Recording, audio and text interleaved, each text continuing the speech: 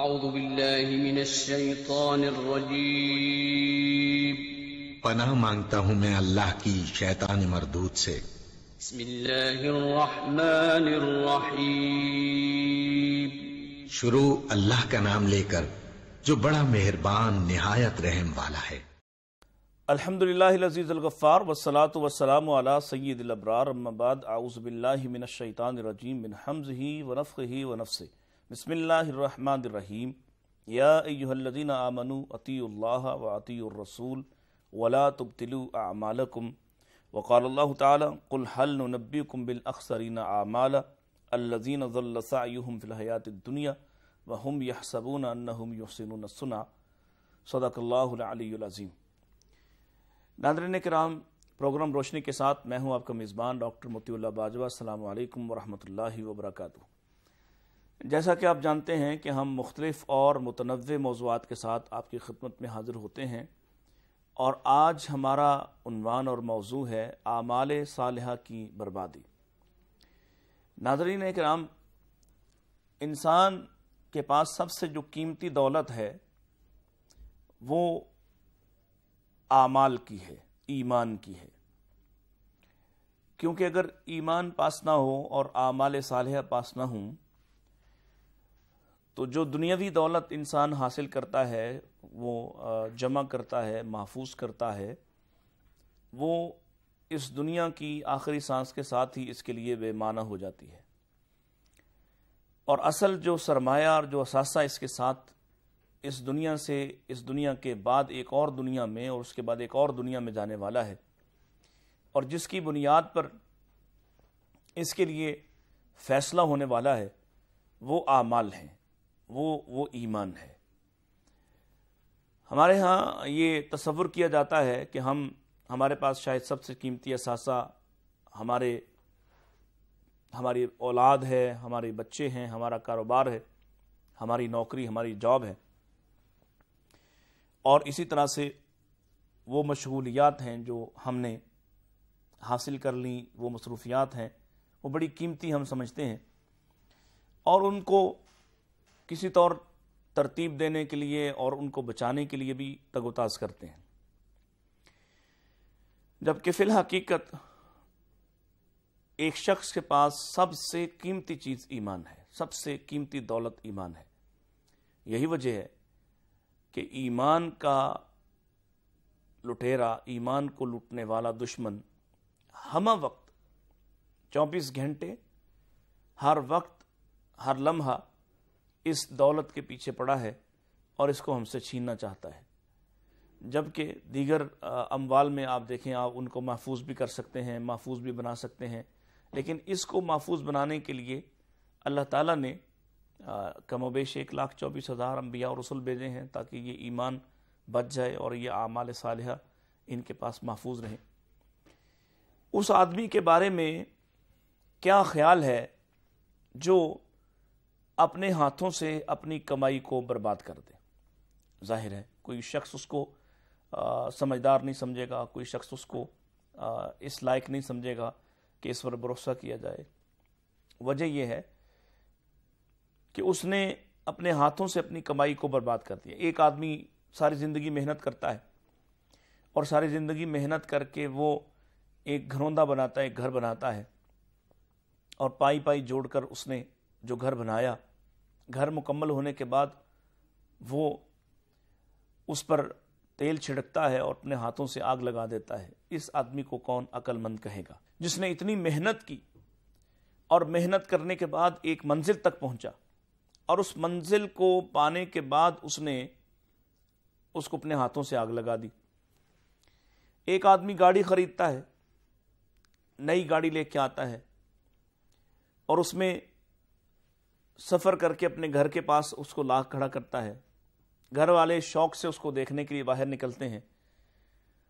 اور وہ ان سب کے سامنے اپنی اس قیمتی لاکھوں روپے کی گاڑی کو آگ لگاتا ہے اور جلا کے راکھ کر دیتا ہے۔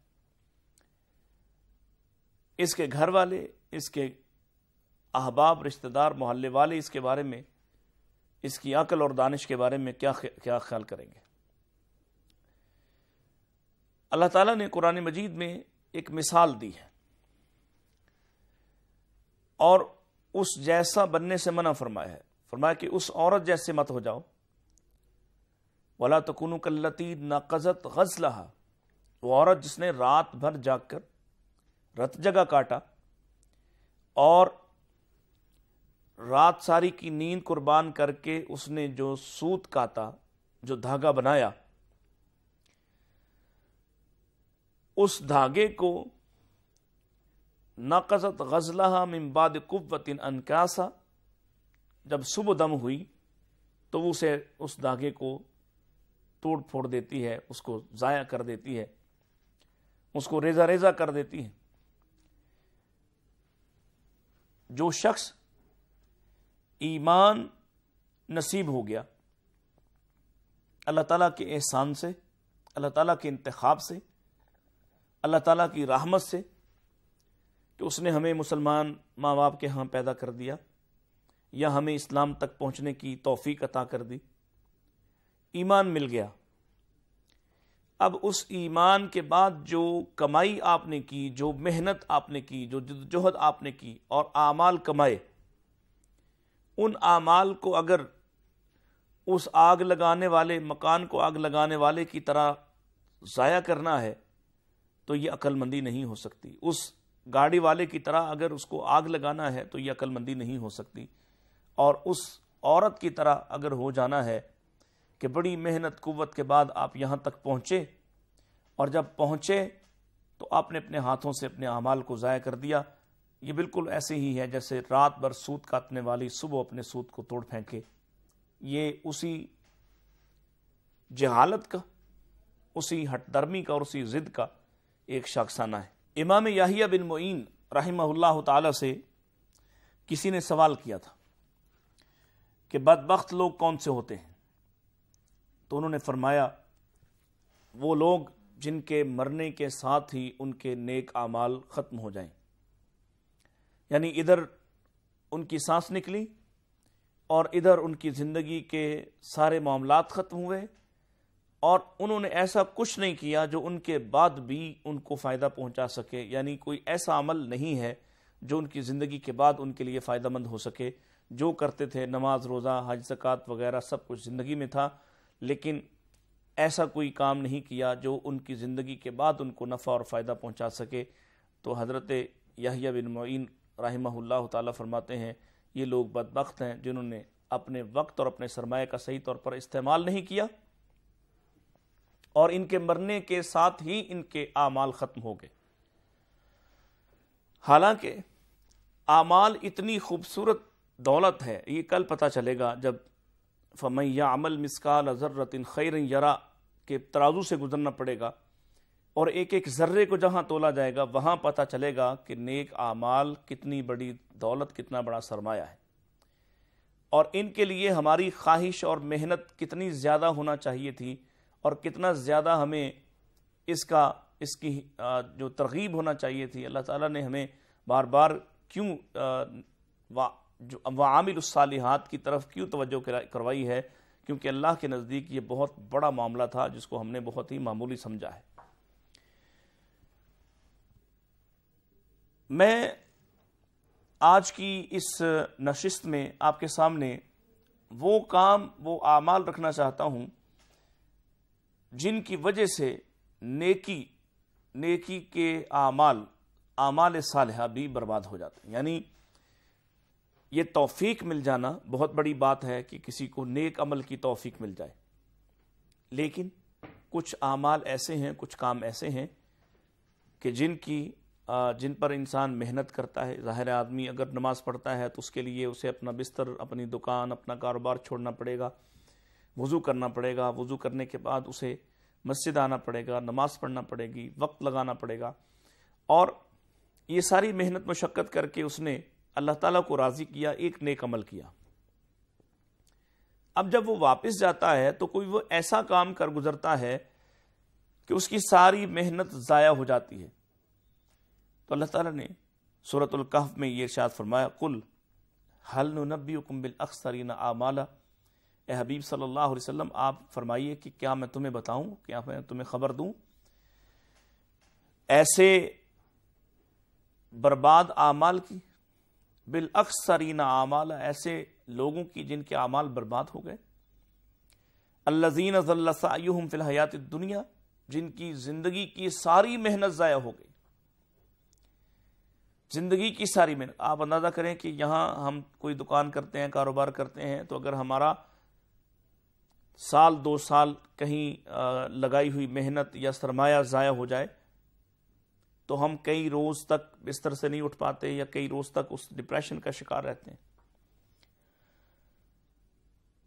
ان لوگوں کا حال کیا ہوگا جو کشاں کشاں شوق سے، خوشی سے جب اللہ کی عدالت میں پہنچیں گے اور ان کا خیال یہ ہوگا کہ انہوں نے بڑے نیکی کے کام کیے ہیں، لیکن جب اللہ کے سامنے پیش ہوں گے تو اللہ فرمائیں گے کہ تمہارے پاس تو کوئی نیک عمل ہے ہی نہیں۔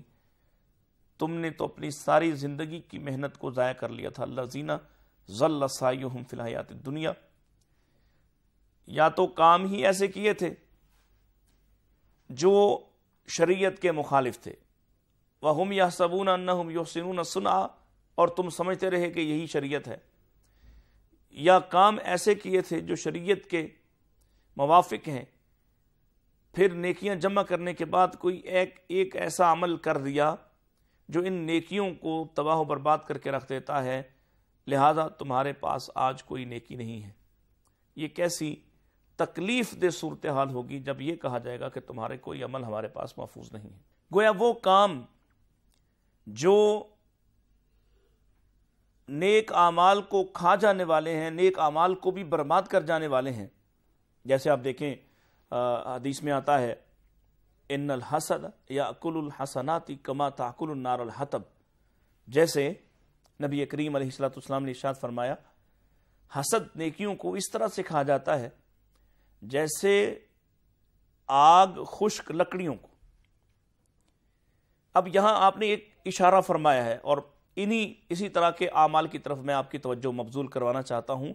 اور خاص طور پر ہمارے جو گھروں میں ہماری معزز خواتین ہیں، اور جو صبح صبح ہمیں سننے والے مرد و خواتین ہیں، وہ سن لیں کہ جب آپ کسی سے حسد کرتے ہیں، تو اس کو کوئی نقصان نہیں ہو رہا۔ آپ تکلیف بھی فزیکل، جسمانی تکلیف بھی اپنے آپ کو پہنچا رہے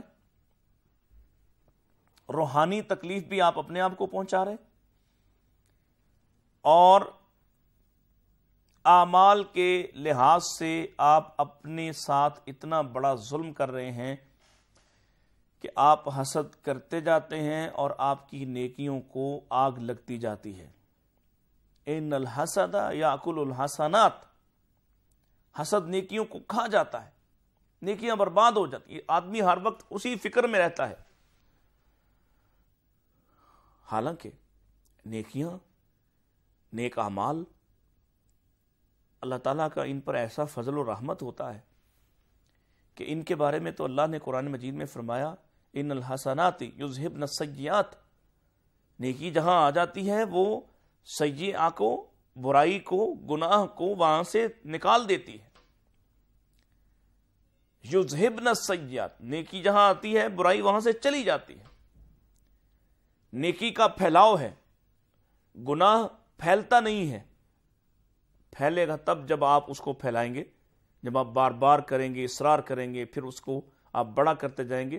وگرنہ جو فطری طور پر نیکی پھیلتی ہے یعنی نیکی کا ارادہ کر لو تو ایک لکھی جاتی ہے، نیکی کر گزرو تو کم سے کم دس گنا اور سات سو گنا تک یا اس سے بھی زیادہ اللہ تعالیٰ کے فضل و رحمت سے اس کو لکھا جاتا ہے۔ نیکی پھیلتی گناہ سمٹتا ہے۔ گناہ لکھ کرو تو ایک لکھا جائے گا۔ اور معافی کا چانس ہر وقت موجود رہے گا اور معافی مل جائے گی تو اس کو صاف کر دیا جائے گا اور معافی اس سے بھی درجے اعلیٰ درجے کی ہوئی تو اسی کو نیکی بنا دیا جائے گا اگر معافی اس درجے کی ہوئی۔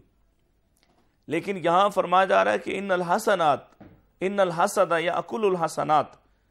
حسد نیکیوں کو کھا جاتا ہے۔ یہ ایسی برائی ہے، یہ ایسا برا کام ہے کہ جس طرح خشک لکڑی کو آگ لمحوں میں باسم کر دیتی ہے، راکھ بنا دیتی ہے، ایسے حسد نیکیوں کو راکھ بنا دیتا ہے۔ تو آمال کی حفاظت کیجیے آمال بڑا قیمتی سرمایہ ہے۔ اتنا قیمتی سرمایہ ہے کہ ان کی حفاظت کے لیے اللہ نے انبیاء کو بھیجا تاکہ لوگوں کے اعمال محفوظ بنانے کا راستہ دکھایا جا سکے۔ آئیے ہم آپ کے سامنے کچھ ایسے اعمال رکھتے ہیں۔ جو نیک اعمال کو، صالح اعمال کو، اچھے اعمال کو، خوبصورت اعمال کو برباد کر دیتے ہیں۔ ان میں سب سے پہلا جو شخص اللہ کی آیات کا اور قیامت کے دن کا اللہ کی ملاقات کا انکار کرتا ہے، اس کے اعمال برباد ہو جاتے ہیں۔ آج کل بے شمار لوگ ہیں اور بڑی تکلیف دہ بات ہے کہ ہمارے ہی معاشرے میں مسلمان کہلانے والے بے شمار ملحدین پیدا ہو گئے، بے شمار سیکولرز پیدا ہو گئے، بے شمار لبرلز پیدا ہو گئے، جو دین پر شرمندہ شرمندہ اور بے دینی پر سینہ ٹھونکتے ہیں، بے دینی پر فخر کرتے ہیں، اللہ کا مذاق اڑاتے ہیں، رسول اللہ کا مذاق اڑاتے ہیں اور دین اسلام کا مذاق اڑاتے ہیں، دین اسلام کے ساتھ جڑے ہوئے شاعر اسلام کا مذاق اڑاتے ہیں اور سمجھتے ہیں کہ یہ شاید سٹیٹس کو ہے، یہ شاید دنیا کو دکھانے کی بات ہے۔ دنیا واہ واہ بھی کرتی ہے، تحسین اور داد کے ڈونگرے بھی برساتی ہے۔ لیکن یاد رکھیے گا، ایسے لوگوں کے پاس آمال نام کی، نیک آمال نام کی کوئی چیز نہیں ہوتی۔ اگر چاہیے قربانی کر لیں اگر چاہیے حج پہ چلے جائیں اگر چاہیے کسی اور بڑے نیک کام کو کر لیں۔ یہ چیریٹیز جو کرتے ہیں ہیومنٹی کے نام پہ، انسانیت کے نام پہ بڑا واویلا مچاتے ہیں۔ لیکن سچی بات یہ ہے کہ جس کے پاس ایمان ہی باقی نہ بچے، اس کے پاس اعمال کہاں سے بچتے ہیں؟ اور جو اللہ کی آیات کا انکار کرتا ہے اور قیامت کے دن کا انکار کرتا ہے اور اللہ کی ملاقات کا انکار کرتا ہے، اس کے بارے میں اللہ تعالیٰ کا فیصلہ کیا ہے؟ والذین کذبوا بآیاتنا ولقاء الاخرہ حبطت اعمالهم حل یجزون الا ما كانوا يعملون؟ وہ لوگ اللہ تعالیٰ کی آیات کا، اللہ کی ملاقات کا انکار کرتے ہیں، ان کے اعمال برباد کر دیے جاتے حابطت اعمالهم ضائع کر دیے جاتے ہیں۔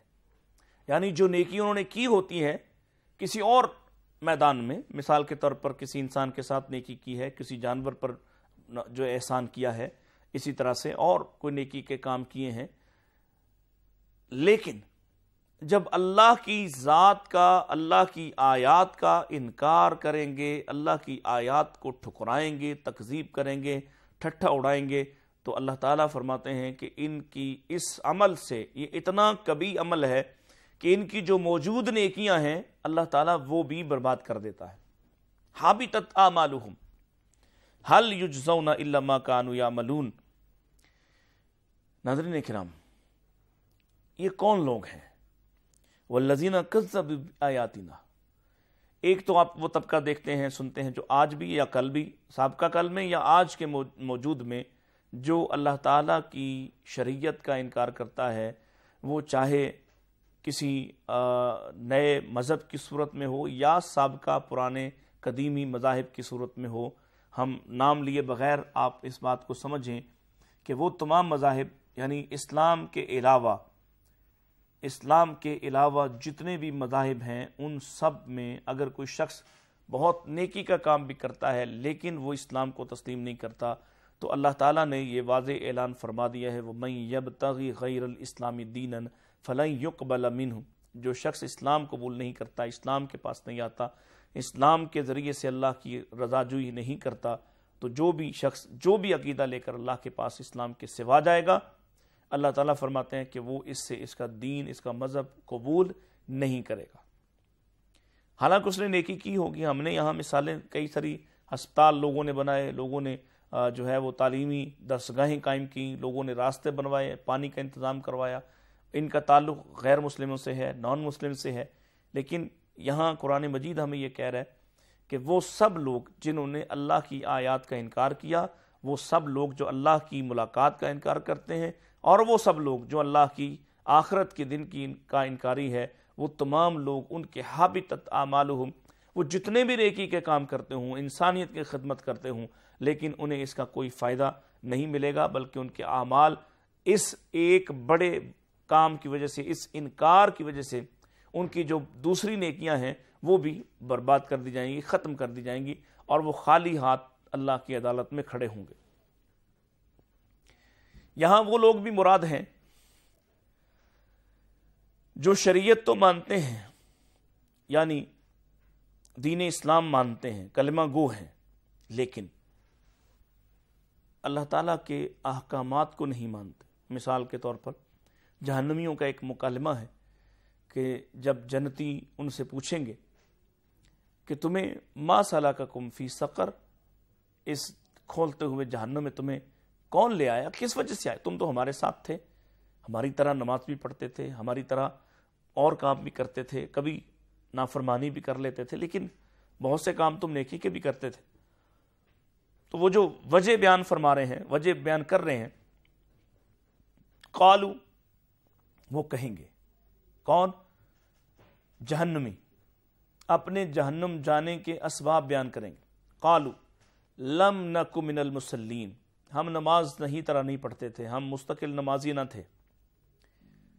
ہم مسکینوں کو کھانا نہیں کھلاتے تھے۔ ہم آجزی کرنے والے نہ تھے، ہم آخرت کے دن کا انکار کرنے والے تھے۔ یہ وہ وجوہات بیان کر رہے ہیں جس وجہ سے ان کے اعمال برباد ہوئے اور وہ جہنم کا ایندھن بن رہے۔ کلی طور پر تو یہ اسلام کی تعلیمات یا اللہ تعالیٰ کی ذات کو مانتے تھے، لیکن جزوی طور پر انکاری تھے۔ نماز کے منکر تھے سکات نہیں دیتے، روزہ نہیں رکھتے، کوئی ایک کام جان بوجھ کے چھوڑ دیتے ہیں۔ اب جان بوجھ کے ان اعمال کو چھوڑنے والا بھی اصل میں اللہ تعالیٰ کے سامنے اس کی آیات کا مذاق اڑانے والا، اس کے احکامات کا مذاق اڑانے والا ہے۔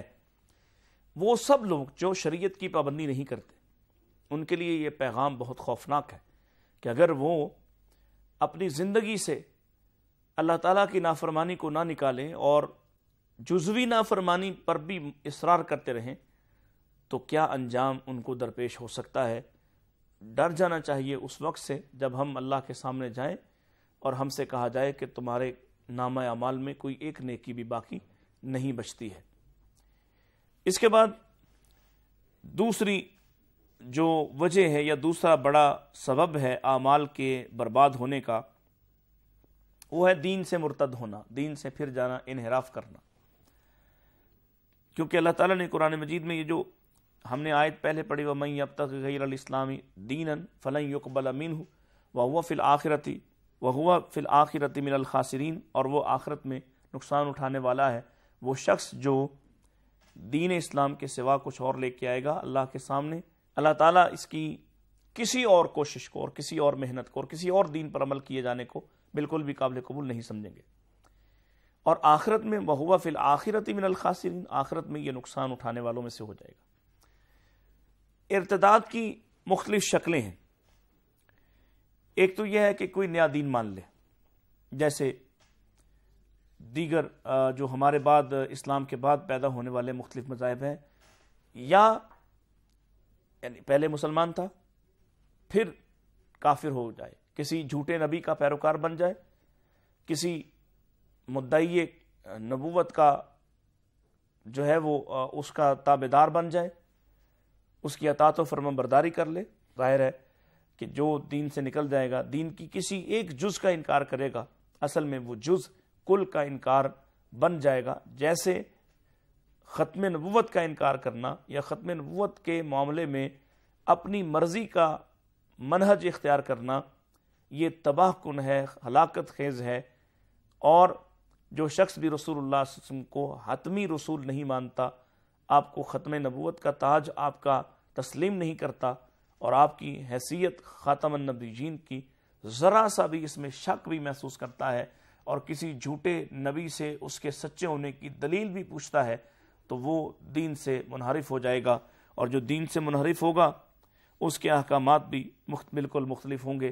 ظاہر ہے کہ اس کے اعمال سب سے پہلے برباد ہو جائیں گے، کیونکہ رسول اللہ صلی اللہ علیہ وسلم کے دین کو ایک لمحے کے لیے چھوڑنا دراصل اللہ تعالیٰ کے غضب و اقاب کو دعوت دینے کے مترادف ہے۔ لہذا جو اللہ کو چھوڑ کر، اللہ کے رسول کو چھوڑ کر، شریعت اسلامیہ کو چھوڑ کر نیا دین، نئی شریعت کو تسلیم کر لے، چاہے اس میں غالب حصہ جو ہے وہ اسلام کا ہی ہو اور کچھ حصہ اس میں اپنی مرضی کا ڈال لے۔ جو نیا دین بنا لے گا یا نیا دین مان لے گا، وہ بھی مرتد ہے۔ اللہ فرشتوں اور رسولوں کو گالی دے دے۔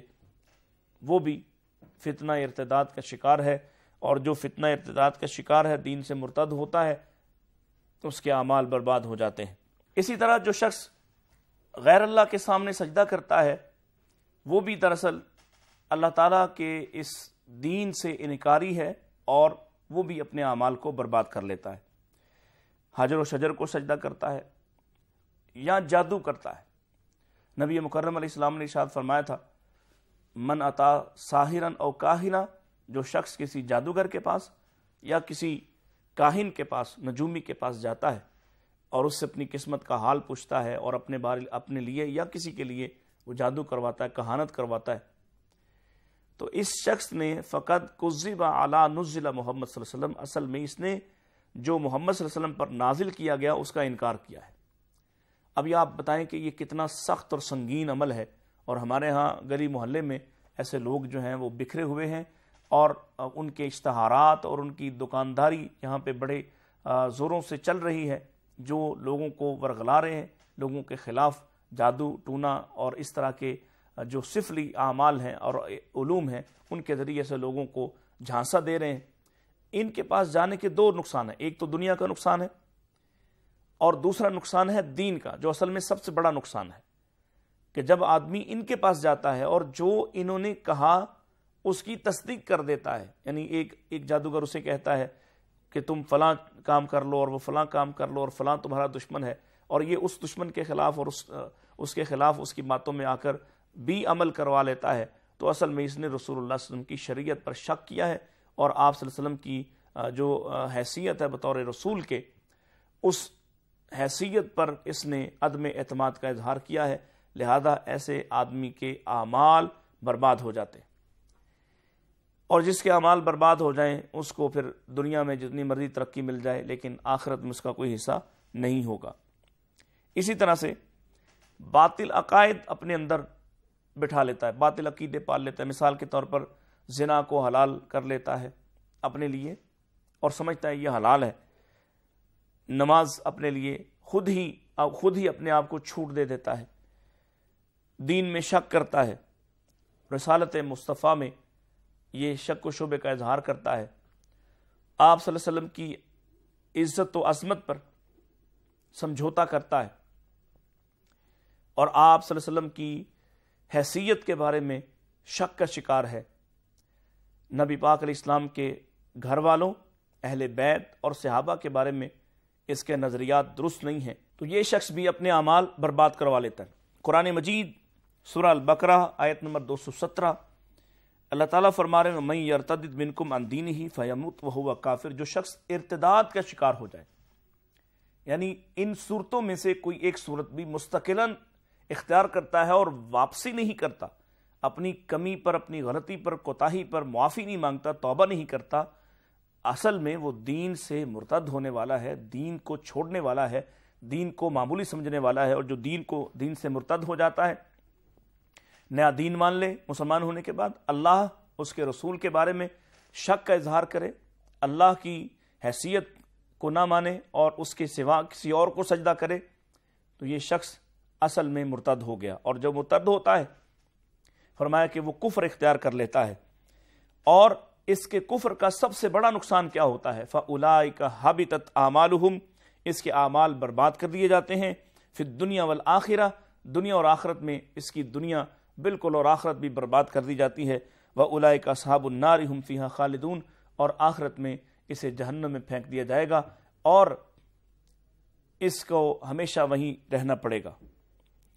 اب آپ اندازہ لگائیے کہ جو شخص دین کے بارے میں، دینی شاعر کے بارے میں، رسول اللہ کے بارے میں، ختم نبوت کے بارے میں شک و شبے کا اظہار کرتا ہے، دین کے کسی عمل کو چھوڑتا ہے، غیر اللہ کو سجدہ کرتا ہے، جادو کرتا ہے کسی نجومی کے پاس جاتا ہے، دراصل وہ دین سے ارتداد کا شکار ہو رہا ہے، وہ دین سے بغاوت کا مرتکب ہو رہا ہے اور دین سے بغاوت کا ارتکاب جو ہے، یہ اسے اس کے اعمال سے ہاتھ دھونا پڑتے ہیں۔ اور اعمال انسان کے پاس نہ ہوں تو کل قیامت کو اللہ تعالیٰ اسے جہنم میں پھینک دیں گے، کیونکہ وہاں بات ایمان اور اعمال کی ہے۔ پہلے ایمان اور پھر اعمال۔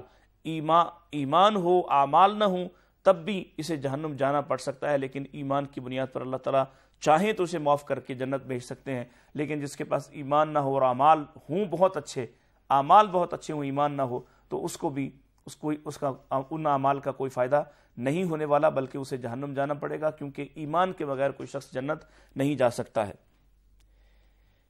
اس کے بعد جو تیسرا عمل ہے، وہ ہے اللہ کے ساتھ شریک ٹھہرانا کسی کو، شرک کرنا، کسی انسان کو، زندہ کو یا مردہ کو۔ اللہ تعالیٰ کی صفات سے متصف کرنا، اللہ تعالیٰ کے اختیارات سے متصف کرنا، اس کے سامنے سجدہ ریز ہونا، اس کو اپنا خدا کہنا، اس کو اپنا معبود سمجھنا، اس سے نفع نقصان کو بستہ کرنا، یہ اصل میں اللہ تعالیٰ کے ساتھ شریک ٹھہرانا ہے۔ اور شرک اتنا خوفناک عمل ہے کہ اللہ تعالیٰ نے سورہ الانعام کے اندر آیت نمبر اٹھاسی میں، ایٹی ایٹ میں انبیاء کا نام لیا ہے، انبیاء کا ذکر کیا ہے۔ اور پھر اس کے بعد فرمایا، ولو اشرک لہابت عن ہما کانو یا ملون اگر یہ انبیاء انبیاء نے شرک نہیں کرنا، انبیاء شرک سے اور شرک اور شرک کی کیا، تمام گناہوں سے اور تمام معصیت کے کاموں سے ہمیشہ محفوظ ہوتے ہیں معصوم ان الخطا ہوتے ہیں۔ اللہ تعالیٰ کا فضل و احسان ہوتا ہے ان پر۔ وہ ہر طرح کی غلطی اور گناہ سے پاک ہوتے ہیں۔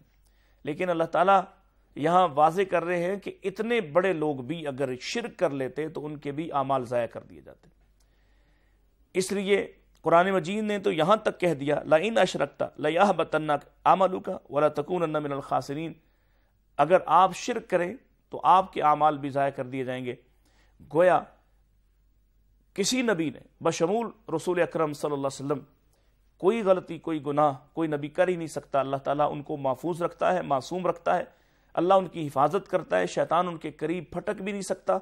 شیطان کے داؤ پیچ ان پر نہیں چل سکتے۔ اللہ کے وہ بندے، اللہ کے وہ خاص و مقرب، اللہ کے وہ خلیل اور محبوب ہمیشہ شیطان سے اللہ کی پناہ میں ہوتے ہیں۔ لیکن شرک اتنا خوفناک عمل ہے کہ اگر کسی سے ہو جائے تو پھر اس کے اعمال برباد کر دیتے ہیں۔ آپ اندازہ لگائیے کہ یہ اتنا خوفناک جرم ہے جو انبیاء کا نام لے کر کہا جا رہا ہے کہ اگر وہ ایسا کرتے تو ان کے بھی اعمال برباد ہوتے، جبکہ ان ان کو اللہ نے اپنی حفاظت میں لے رکھا ہے۔ تو عام آدمی، میں اور آپ، ہم کہاں کھڑے ہیں اگر ہم سے شرک کا کوئی کام ہو جانے انجانے میں؟ اسی لیے رسول اللہ صلی اللہ علیہ وسلم یہ دعا کیا کرتے تھے کہ اللہ مجھے اس شرک سے بھی معاف فرما، جو میں نے جانے انجانے میں مجھ سے کوئی بات ہوئی۔ حالانکہ رسول اللہ علیہ وسلم کی تو ہر بات اللہ کی حفاظت میں، نگاہ میں۔ اور آپ یہ دعا سکھا رہے ہیں کہ وہ جو میں نہیں جانتا اور میں نے شرک کر لیا، اس سے بھی مجھے اللہ تو معاف فرما، اس سے بھی مجھے پناہ دے۔ جو میرے علم میں نہیں ہے، انسان بہت سے ایسے کام کرتا ہے۔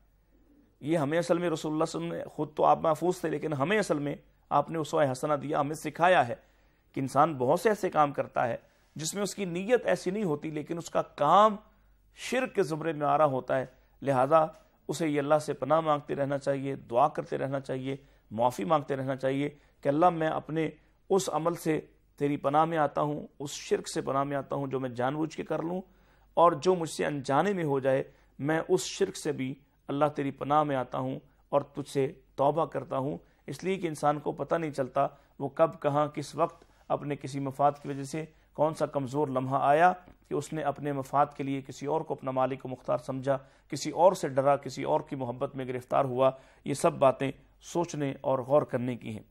تو شرک ایسا عمل ہے جو اعمال کو برباد کروا دیتا ہے۔ اللہ تعالیٰ کفار مکہ سے کہہ رہا ہے اجال تم سکایت الحاجی و عمارت المسد الحرامی کمن آمن اب اللہ ولیوم الآخر کیا تم سمجھتے ہو یہ حالانکہ بہت بڑا کام ہے؟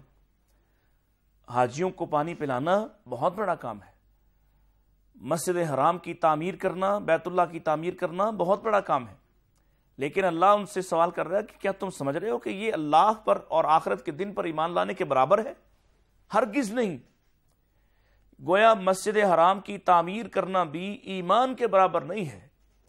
اللہ تعالیٰ کی توحید کو تسلیم کرنے کے برابر نہیں ہے۔ گویا حاجیوں کی خدمت کرنا، یہ اللہ اور اس کے رسول پر ایمان لانے کے مترادف نہیں ہو سکتا ہے۔ اور وہ یہ سارے کام تو کرتے تھے اور خوش تھے، اس پر فخر کرتے تھے۔ تو اللہ تعالیٰ نے ان کے اعمال کا ذکر کر کے فرمایا ہے وہ قدیم نہ علامہ عامل من عامل فجا النا ہو ام منصورہ یہ جتنے بھی تم کام کرتے ہو، چونکہ تم شرک کرتے ہو، چونکہ تم اللہ کے ساتھ کسی اور کو بھی شریک ٹھہراتے ہو، لہذا یہ تمہارے سارے اعمال اللہ کے ہاں راکھ کا ڈیر بنا دیے جائیں گے۔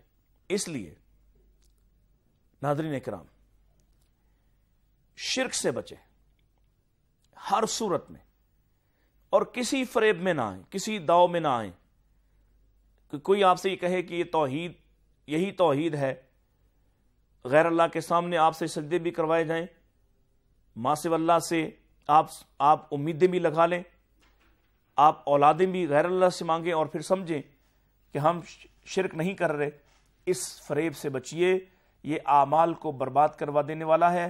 اللہ تعالیٰ نے اپنی ذات کا جو تعارف کروایا ہے اور جو اس کے پیغمبر حضرت جناب رسول اللہ صلی اللہ علیہ وسلم نے اس کی حدود اور قیود بیان فرمائی ہیں، اس کے مطابق اللہ تعالیٰ کی ذات کو تسلیم کیجیے اسی طرح، رسول اللہ صلی اللہ علیہ وسلم کی اطاعت کا انکار کرنا بھی اعمال کو برباد کروا دیتا ہے۔ جیسا کہ ہم نے اپنے خطبہ میں یہ آیت پڑھی، یا ایوہ الذین آمنوا اطیع اللہ و اطیع الرسول ولا تبتلوا اعمالکم۔ اے ایمان کا اظہار دعویٰ کرنے والوں اللہ کی مانو اور اللہ کے رسول کی مانو اور ولا تبتلوا اعمالکم اپنے اعمال ضائع نہ کروا لینا۔ گویا جو شخص اللہ کی اطاعت نہیں کرتا، رسول اللہ کی اطاعت نہیں کرتا، اللہ کی اطاعت سے یا رسول اللہ کی اطاعت سے انکار کرتا ہے، منکر ہوتا ہے، وہ اپنے اعمال برباد کروا لیتا ہے۔ جو شخص اللہ کے نبی صلی اللہ علیہ وسلم کی سنت سے انکار کرتا ہے، آپ کے طریقے سے، آپ کے عمل سے انحراف کرتا ہے۔ ایک تو آپ نے فرما دیا کہ وہ شخص جو ایسا عمل کرتا ہے جو ہمارے عمل میں سے نہیں ہے، تو وہ عمل فہو رد وہ مردود ہے۔ عمل بھی مردود ہے اور کرنے والا بھی مردود ہے۔ اسی طرح فرمائے من صفی امر نہ مال سمن فو رد جو کوئی ایسا کام نکال لیتا ہے جو ہمارے ہمارے طریقے کا حصہ نہیں ہے، اس کا وہ عمل بھی مردود ہے۔ گویا جو شخص رسول اللہ علیہ وسلم کی اطاعت نہیں کرتا، آپ کی سنت کو نہیں مانتا، آپ کی لائی ہوئی شریعت پر اطمینان کا اظہار نہیں کرتا۔ ایک حدیث میں تو فرما دیا، لا یومن واحدکم حتی یکونو ہواہ تب علما جی تو بھی مومن اس وقت تک کوئی مومن ہو ہی نہیں سکتا جب تک کہ اپنی خواہشات کو میرے لائے ہوئے دین کے تابع نہ کر لے۔ تو یہاں دوسری حدیث میں فرما دیا کہ کوئی نیا کام ڈھونڈ لیتا ہے، اپنی مرضی کا کام شروع کرتا ہے، میری سنت کے مطابق نہیں کرتا، میری اطاعت نہیں کرتا، تو یہ کام بھی مردود ہے اور یہ کرنے والا بھی مردود ہے۔ اور قرآن مجید کی تفہیم یہ کہتی ہے کہ جو شخص رسول اللہ وسلم کی اطاعت نہیں کرتا، اللہ کی اطاعت نہیں کرتا، وہ اپنے اعمال کو برباد کروا لیتا ہے۔ انشاءاللہ مزید اس پر آپ کے سامنے گزارشات پیش کریں گے۔ اگلے پروگرام میں تب تک لیے اجازت دیجیے اللہ حافظ۔ السلام علیکم ورحمۃ اللہ وبرکاتہ۔